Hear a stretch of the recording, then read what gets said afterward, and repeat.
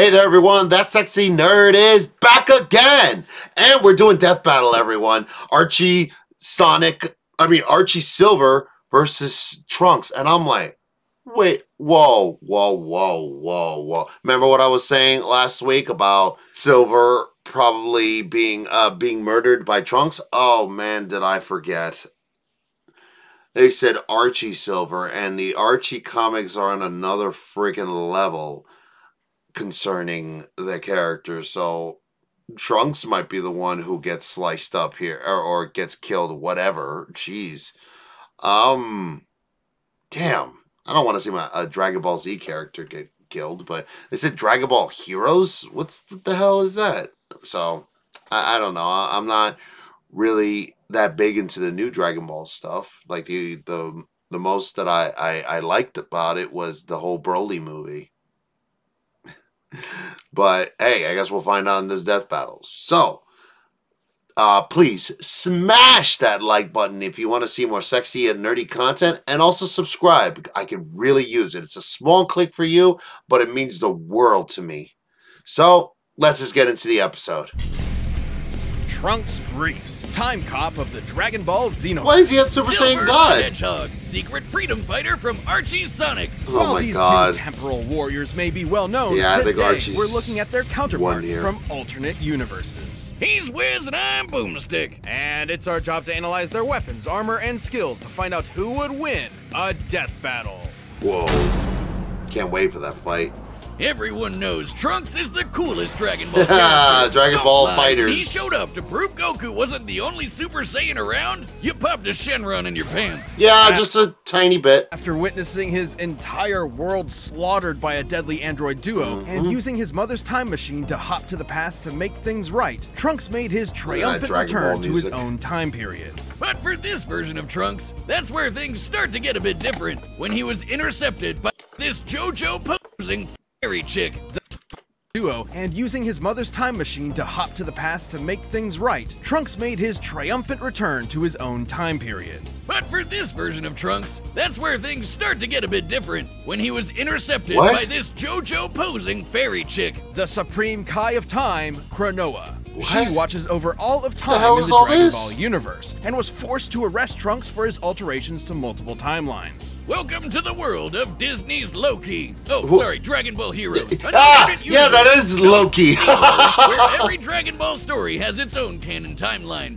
Kinda like if some nerd's weird DBZ fanfiction became totally official.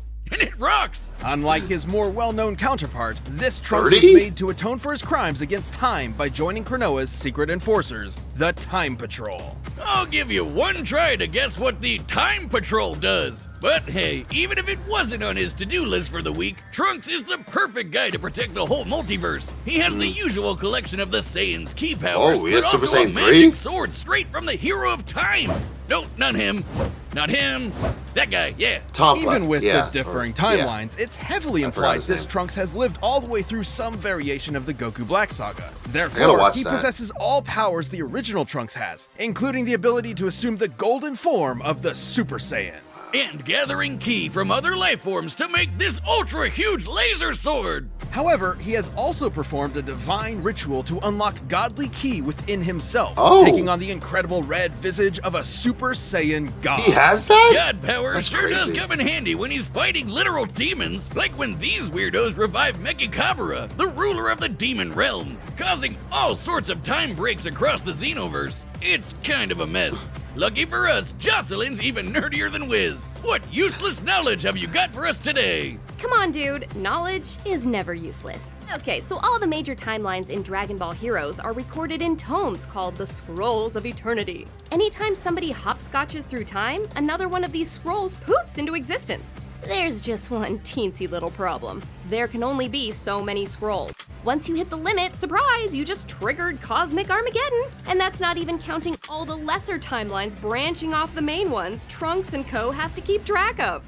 Anyway, Trunks and the Time Patrol are some of the only peeps who can time warp without causing these distortions, thanks to unique devices like this armband. Though sometimes a patrolman gets ballsy and tries to mess with time themselves, like when Silas tried to rewrite Dragon Ball Heroes, both the world and the game. Oh yeah, did we mention that? The universe is an arcade game in its own universe. Uh, yes and no. In the far off future of the Xenoverse, the Dragon Ball Heroes arcade game essentially serves as another method of time travel, allowing future warriors to visit iconic moments in the past. So much for preventing Wow. the Ragnarok of the multiverse or whatever. That's where those lesser time branches come in. They don't count. Just because. These machines also send an avatar of the uh, player back in time, complete with an assortment of collectible cards that can summon facsimiles of well known Really? characters. That's right, Super Saiyan 4 Goku is a rare reverse holo now. Trunks Wow. himself is an avid fan, along with his disciples Beat and Note. Fun fact Beat is a descendant of GT Goku. Trunks even Really? funded a Duel Disk style hero switch so he can use his cards on the go. And you thought Trunks was cool before he went full Seto Kaiba. Hell, he somehow made the great Saiyaman look badass.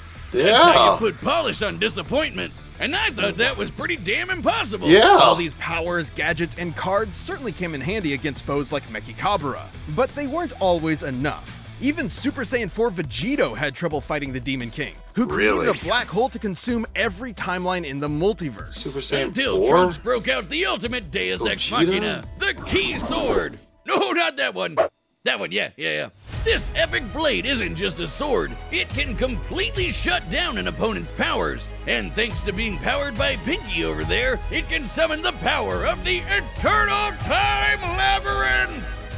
Which is just really fun to say. Well, even more fun, it traps targets in the crack of time, a bubble of reality outside all timelines with windows into others. And the Key Sword was powerful enough to finish off Mechikabura in a single strike. Obviously, this puts Xenotrunks in the upper echelons of Dragon Ball power level. Seriously? Even eclipsing the main timeline's Goku, who could destroy the universe up to 13 times over when he first Oh man, I gotta Super watch Saiyan that God. episode. The same Goku who could push through Hit's time skips and could fly from Grand Kai's planet to Hell in less than a minute. Considering the distance between these two realms as displayed in this canon visual model, that would require speeds over 29 quintillion times faster than light. Wow. And that was even before going God, let alone getting training from whiskey. Boy, Whiskey. made me hungry. Uh, Whis and many of Trunks' patrol buddies are just as impressive. Like you! Well, the you who battled Demigra in the Xenoverse game when he had control over all time and space, or the you who fought the demon Shamel who threatened the whole multiverse, you are technically a canon character in Dragon Ball. Congrats, I guess. Uh, maybe now you can throw that Kamehameha for real. oh, come on, you know you want to. So the bad guys better watch out, cause Trunks and his time cops will always be there to stop them and protect time itself. Yeah. It's the year 3437. Oh boy, here we go. The world of Mobius has Oh, entered Archie. an era of darkness. This savage future has been ravaged by unending fires, giant monsters, ecological Hey, chaos. and general dystopia of all kinds. But standing against this harsh and bleak reality is a lone hero. A young Silver. hedgehog with silver quills named, uh, Silver. So, yeah, comic book Silver doesn't sound too different from the one in the video games, right? Don't count on it! This is the same comic where all the tales in the multiverse fuse together into this monstrosity. So strap in for a wild ride! With no family to speak of, Silver was taken in by the last elders of his damaged world, including the immortal Wizard of Chaos, Mammoth Mogul. Silver's goal was to become a Knight of Cronus, a time traveling warrior who could save the future by changing the past. Silver's base abilities include super strength and super speed, though not quite at the same level as those of Knuckles or Sonic, respectively. Well, that's okay, because he's got his own special weapon Mind Bullets! And more, a lot more. Silver possesses the rare power of psychokinesis, allowing him to move himself or other objects around with just his oh thoughts. Oh my God, he Trunks can move is so anything screwed. from rocks to skyscrapers to entire mountains. But that's not all he's got up his sleeves. Er, gloves. He always keeps a warp ring on hand, a size shifting power ring that can teleport him anywhere he likes, even other dimensions. And he can access the insight, resistances to corruption, and power boosts many other Mobians can attain with usual power rings. With all this, he was a shoo in for school with the Woolly Mammoth Mage. Thanks to Mogul, Silver got to learn about two other magic abilities he'd soon master. First up, Chaos Control! The magic Mogul pioneered himself centuries ago. This is the stuff Sonic and friends used to shoot pew pews and turn into super not Saiyans. Then, Mogul discovered another magic, Cronus Control. With this, Silver can move through time with very little effort, made even easier thanks to his Time Stone, a gem that governs time itself. After doing tons of research, Rose, Sylvie, and Mogul discovered Gross. that their shitty lives could all be blamed on just one person. Apparently, one of Sonic's own freedom fighters turned traitor and ruined everything. What a twist! So Silver set off with a full arsenal to baby Thanos that bastard. Only one problem. The Archie Sonic multiverse is complicated. Oh, no. Hell, complicated barely even cuts it. Jocelyn, how about you take this one? Okay, Archie Sonic's multiverse is similar in scope to something like DC Comics, with multiple extra dimensional layers like the Chaos Force. There are infinite universes with infinite timelines and infinite characters, Oh, as if Sonic needed more of those. including the likes of Mega Man, Sabrina the Teenage Witch, and Spawn. Wait, what? With What? the Time Stone, Warp Rings, and Cronus Control, no Spawn? timeline or dimension is out of Silver's reach. Though, like bad sushi mixed with vodka, time hopping this way had some weird side effects, like decoupling Silver from time. So if he Why did you have bad sushi with vodka? Man, college must have been weird for you. causes a real bad butterfly effect, he doesn't get erased like poor Marty McFly. He just has a lot of catching up to do. Sorry, can you go back to the part about Sonic the Hedgehog meeting Mother Spawn? I know, say, right? Silver had a hard time figuring out exactly what he needed to do.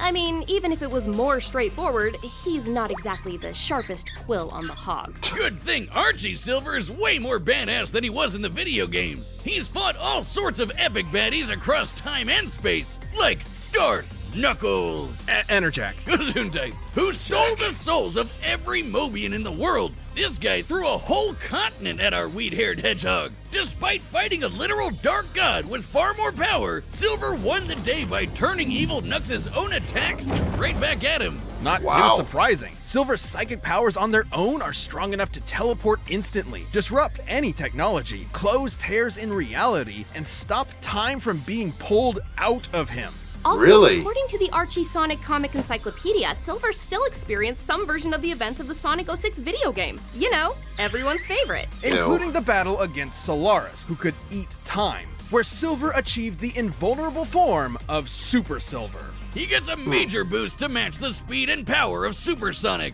As Sonic Man, without this supersonic Sonic Man. energy, Sonic was already fast enough to outspeed stop Sonic time. Man? Let me say that again. Time was frozen, and Sonic could still move. What? What the hell? Naturally, Super slow. Sonic and Super Silver should both be faster than this. But as calculating speed requires a factor of time, and this feat removes time from the equation entirely, this means Super Silver's speed is incalculable. His speed Wow. is faster than time itself permits speed to be. That's stupid. That's Archie Sonic. Hardly a Superform's most impressive feat, though. Bye-bye, There have been a few Wally occasions West. where the Archie Sonic multiverse has been completely demolished and restored, and each one uses the same chaos power Super Silver possesses. The most notable, of course, was when Super Sonic teamed up with Super Mega Man to counter the Super Genesis wave. Which completely rewrote all of time and space. That's Luckily, awesome. right at ground How did I miss a, a damn comic book where Sonic meets Mega Man? Zero, the super forms were immune to the Super Genesis Wave's reality warping power, giving What? Sonic and Mega Man the time they needed to save the entire multiverse. What oh, the Oh, hell? What about? Yes, even Spawn. Oh, thanks, Satan. But even in this Thanks, brave Satan. new world, Silver was nothing short of a hero. As long as this dorky hedgehog is around to keep up the good fight, even the darkest timeline will have a silver lining. Hmm. Was partnered the data through all. All right, the combatants are set. We've run the data through all possibilities. It's time for a death battle! Ah. Time! Okay, can't wait to see this.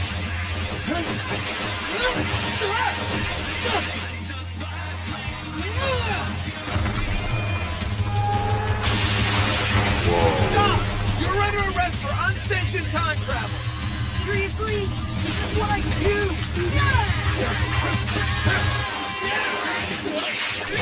Oh. Trunks, I think you're you're at a disadvantage here.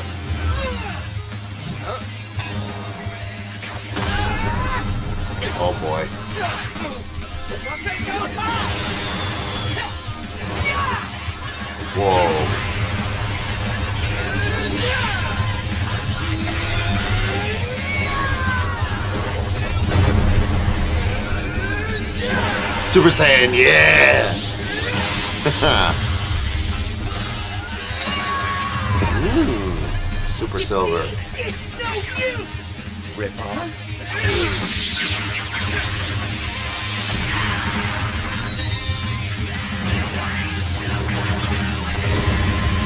It's about time they played some heavy metal here. Ah, crap baskets.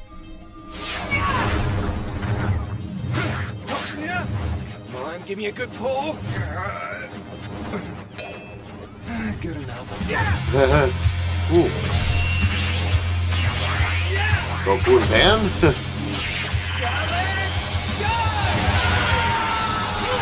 Alright.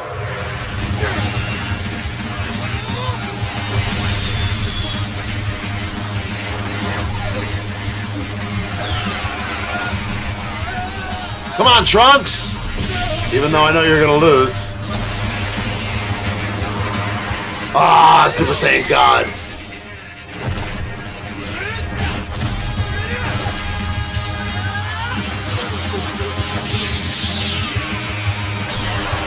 Whoa. Whoa. That would have killed anybody else. Keyblade.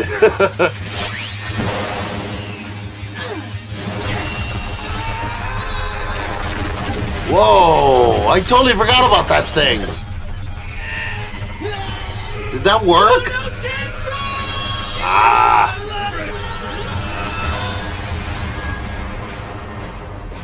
Whoa! I don't think we're in Mobius anymore. Uh, nope. This is it, time hog. Time hog. I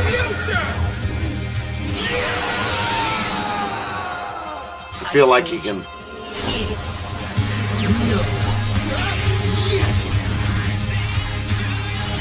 Ah, yeah.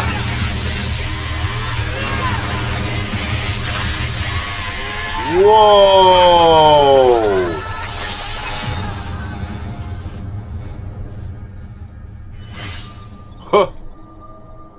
And that's how Crisis Zone was created. KO!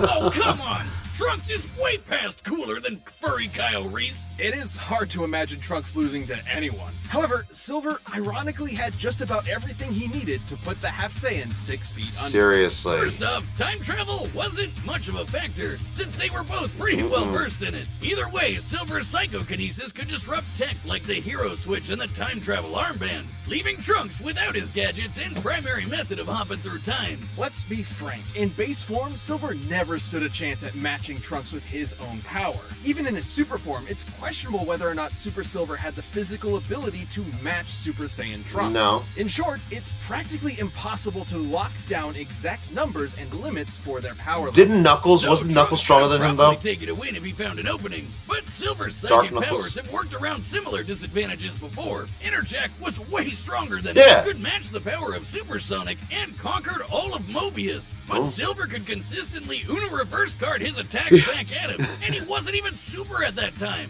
Trunks was obviously much faster than Goku's trip to hell. He could easily be sextillions or septillions of times faster than light, Wow. maybe even more. However, by the very nature of Dragon Ball powers, his speed must have a limit, even if it is impossible to know an exact number given what we've seen. But Archie's super forms have consistently shown incalculable speeds. Really? Sure, Goku broke through Hit's time skip, but that actually has nothing to do with speed.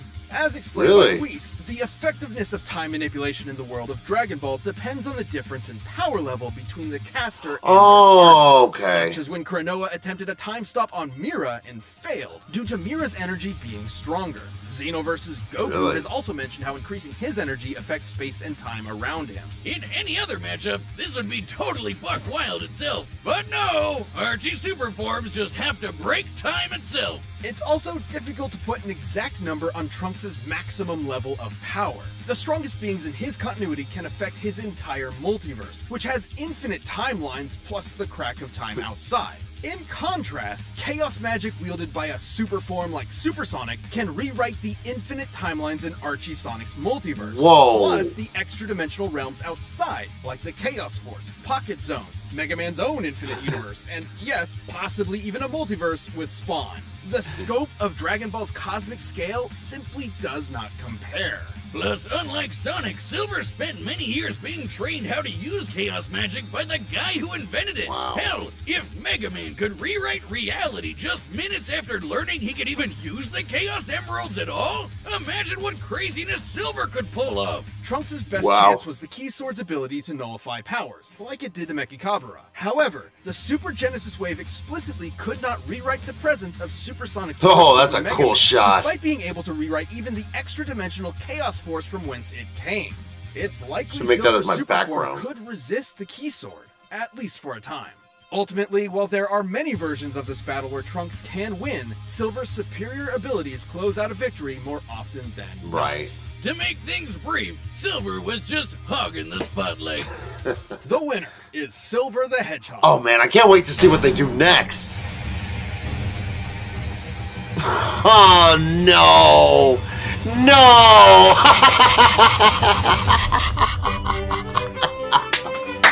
oh, SpongeBob's gonna win that. Sorry, SpongeBob's totally gonna win that.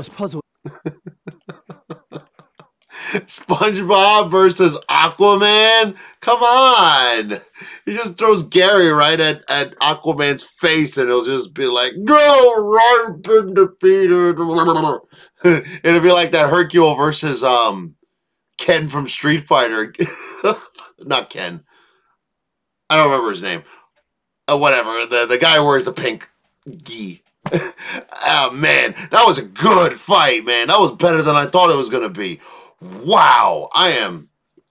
I, I kind of knew as soon as they said Archie Comics, like they give people from the DC universe a run for their money. Archie Sonic almost beat. I mean, stood up again, stood up to uh, Wally West Flash. Wally West Flash from the original. Like he's the one who surpassed Barry Allen. Woo! I love DC. Um, yeah, so that that was an amazing fight. I can't wait to see the next episode. It's gonna be funny as hell. Hopefully they do it in animation to SpongeBob and they just have the old as Aquaman just swimming around. If they're doing actual serious DC Aquaman though, I'm poor SpongeBob, but who knows? Maybe he can't even be hurt because there's a part in SpongeBob where somebody tries to punch SpongeBob in the face and it just goes right through him. Like I'm some sort of spongy material. oh, I love that episode. So, uh, let's. I, I love classic SpongeBob, but remember, please smash that like button if you want to see more sexy and nerdy content, and subscribe because remember, it's maybe a small click for you, but it's um, an amazing help for me, especially if you want to see more of my content. And I'll see you all in the next video.